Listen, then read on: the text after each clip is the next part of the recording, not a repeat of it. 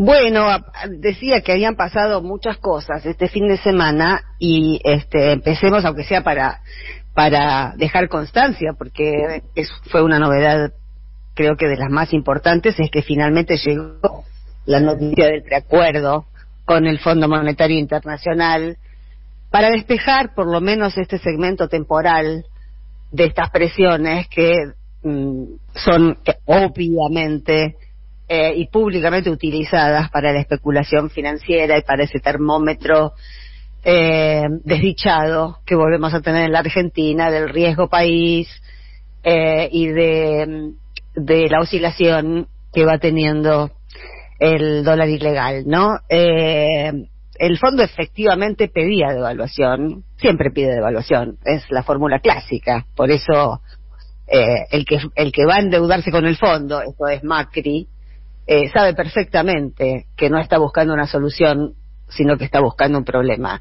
Y eso fue un problema, este fue un problema, eh, un caballo de Troya que nos dejó el macrismo y de la que, un hecho del que lamentablemente en esta sociedad de la desinformación y de la operación mediática, mucha gente no, no está enterada, ¿no? Cree que todos los males habidos y por haber eh, los trajo el peronismo cuando en realidad históricamente el peronismo lo que trajo son soluciones. Soluciones que no les gustaron mucho a los que tenían que poner, que eran los que tenían más, ¿no? Eh, soluciones que, obviamente, eh, ya había entrado en el sentido común y se pretende volver a sacarlo del sentido común, que eh, derechos como el aguinaldo o como las vacaciones que nosotros tenemos incorporados como el solsticio de invierno y el solsticio de verano, y la verdad que no, la verdad que este, los solsticios quedarán ubicados donde están, pero las vacaciones y el aguinaldo son dos ejemplos de algo que nos puede ser arrebatado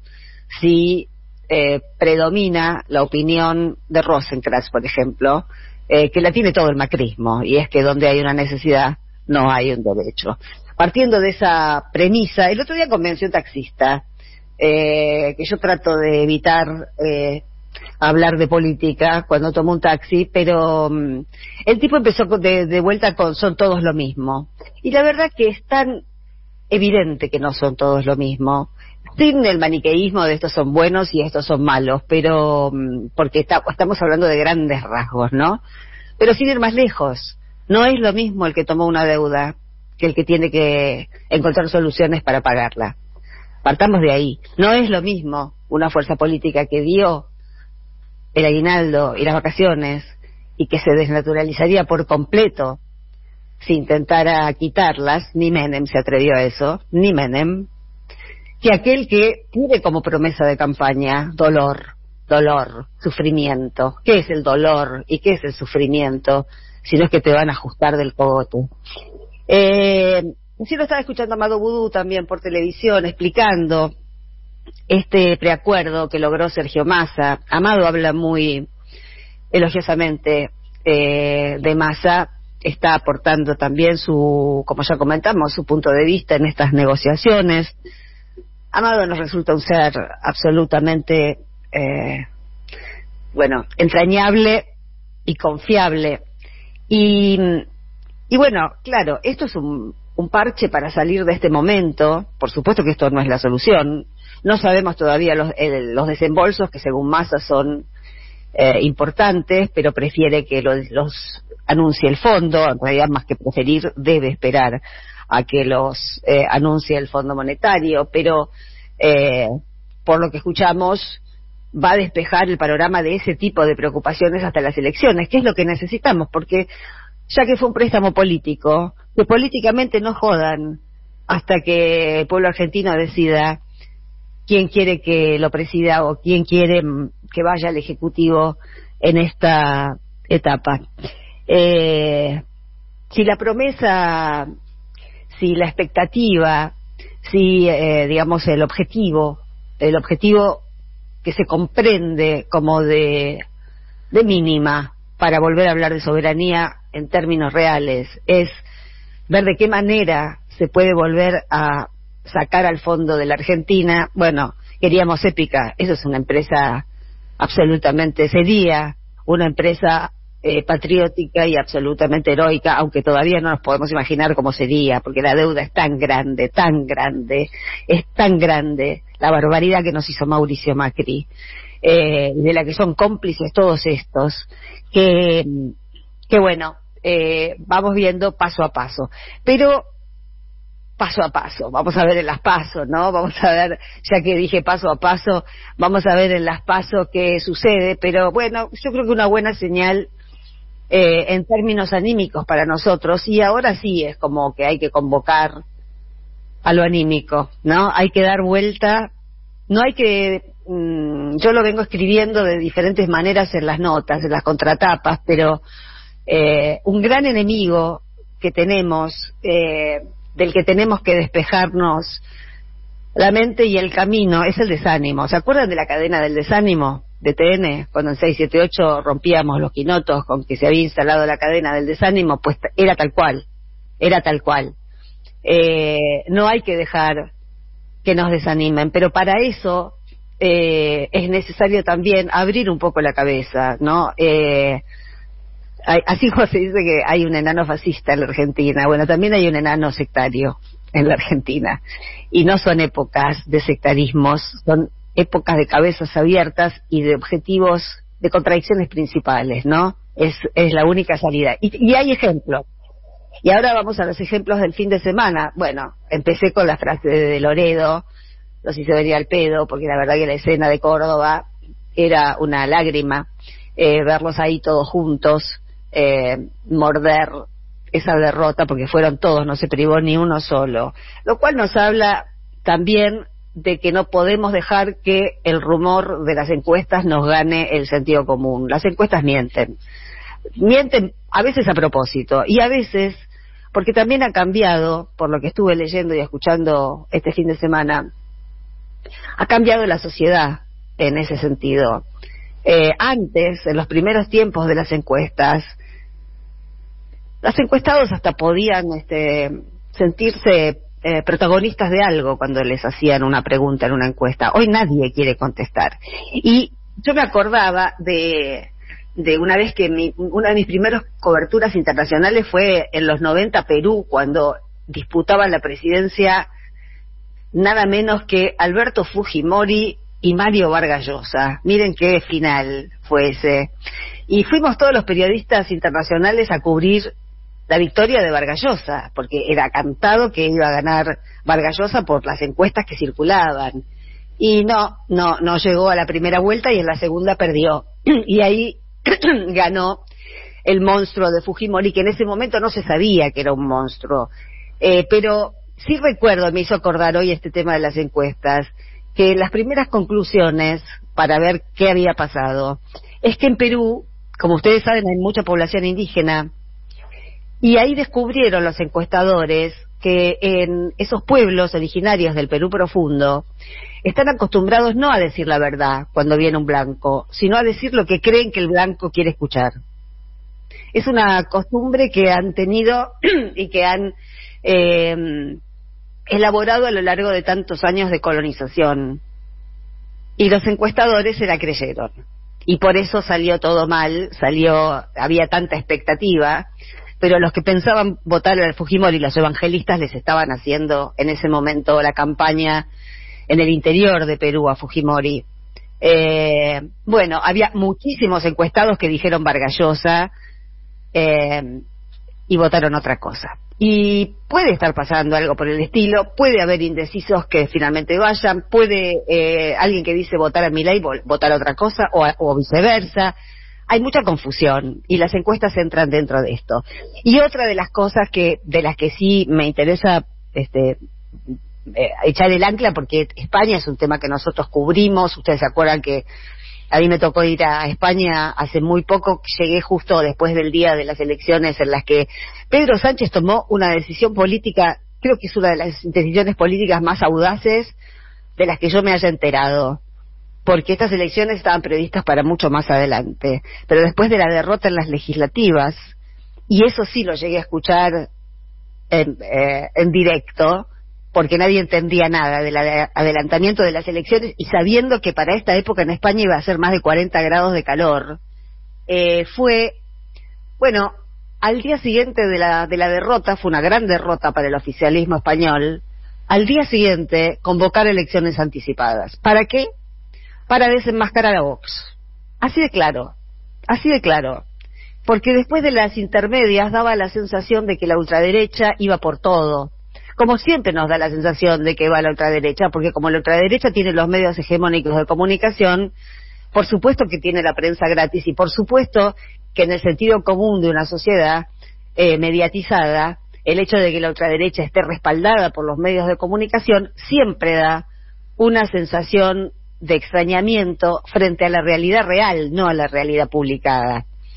Eh, y Pedro Sánchez, que no es santo de mi devoción ni de muchos otros, pero eso a eso vamos ahora, eh, lo que hizo fue, bueno, vamos a, a las generales rápido, para que en España se sepa quién ocupa qué lugar y, que, y no dar tiempo al canto de sirenas que iban a seguir meciendo la ultraderecha durante muchos meses y desgastando al oficialismo. Eh, cambiaron los actores en lugar de, de, una alianza con Podemos, que es una agrupación ya fallida, digamos.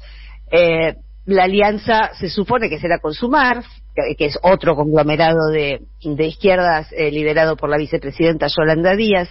Eh, pero sobre esas eh, sobre esas esos estados de ánimo eh, que son manejados a través del run run de los medios de comunicación estuvo hablando ayer nuestro este nuestro conocido porque lo pasamos muchas veces Iñigo Rejón decía esto nosotros lo dijimos, es que yo creo que hubo quienes se pasaron de soberbios.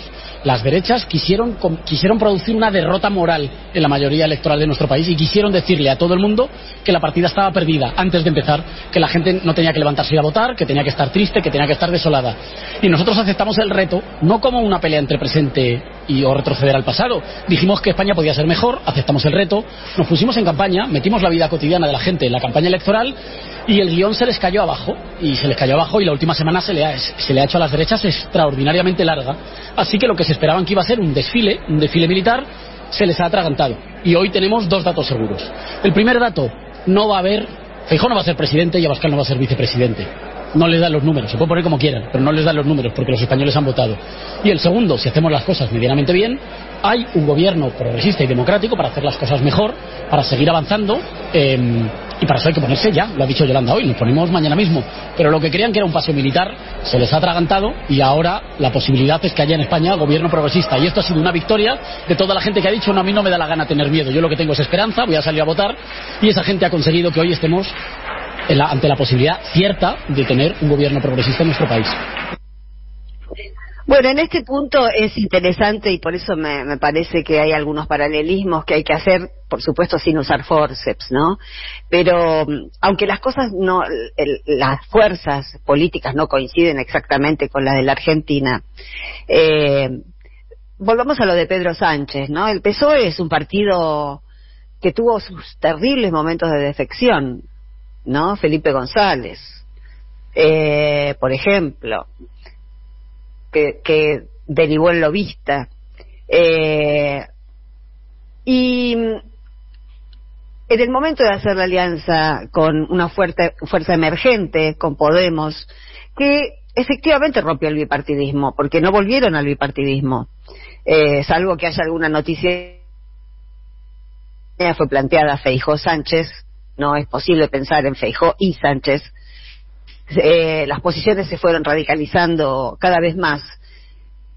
Y lo que hacen esas articulaciones políticas, por ejemplo, entre el PSOE y Podemos o entre el PSOE y Sumar ahora, que reúne a muchos partidos de izquierda, a muchos partidos autonómicos, eh, es precisamente también eh, inclinar la balanza medio conservadora del PSOE que la tiene, que la tiene, tiene, tiene un buen sector conservador en su interior, tiene un buen sector corporativo en su interior, pero también tiene viejos militantes socialistas eh, que se han reencontrado con una esencia que a lo mejor en la larga vida del partido habían perdido y que viene de la mano de, en su mayor parte, jóvenes o clase trabajadora eh, que no que no integra el PSOE y sí integra las coaliciones de izquierda, ya sea Podemos en su momento o Sumar en otro momento. Ahí está la gente común, la gente real, la gente que por ahí recién ahora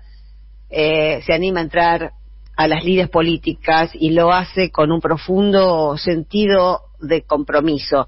Ahí es donde tenemos que trabajar. Eh, una de las, de las cosas buenas que me parece que están pasando es cómo habla Massa de Grabois y cómo habla Grabois de Massa. Hay un acuerdo tácito y también cada vez se va transparentando más la intención de Cristina, porque es la que armó la estrategia de que uno va a compensar al otro para poder eh, captar eh, un electorado lo más amplio posible. Eh, sería muy difícil combinar a Grabois con la fuerza que acaba de ganar en Córdoba la Intendencia y también la provincia y que está vinculada al esquiaretismo más o menos este, fiel a Schiaretti o no, que por, lo, por su lado está siguiendo sus negociaciones con la reta, pero por lo que vimos ayer de, eh, del, ganador de la Intendencia de Córdoba o el ganador eh, de, las elecciones a gobernador, eh, es, no es el mismo esquiaretismo que conocimos, no es un, no es un, peronismo odiador, antikirchnerista se dice Schiaretti en los spots que hace con Bocio. Es un peronismo antikirchnerista, es, es la máxima, es la que faltaba. Eh, estos nuevos dirigentes de Córdoba muy difícilmente pudieran tener, me parece, una articulación con Grabois, pero sí tranquilamente la pueden tener con Massa. Y nuestro deber es aceptar todo lo amplio que vaya surgiendo, porque vimos lo que pasó en España, además se militó y hubo una participación enorme. Fue a votar mucha gente que se veía con la soga al cuello. Y esto tiene que ver con trabajadores, pero también con diversidades sexuales, también con feminismos, también con estudiantes, también con profesionales de la salud, también con empleados públicos, con todos los sujetos y colectivos que se verán afectados si las nuevas derechas bestiales llegan al poder. Así que nuestra contribución eh, como ciudadanos me parece que tiene que ser bajar los decibeles para hablar tanto de uno como del otro candidato nuestro en las PASO, eh, votar a quien más eh, uno desee eh, y sumar y no y no ponerse quisquillosos muchachos porque porque ya sabemos lo que son estos y las cosas que están diciendo ahora que están nerviosos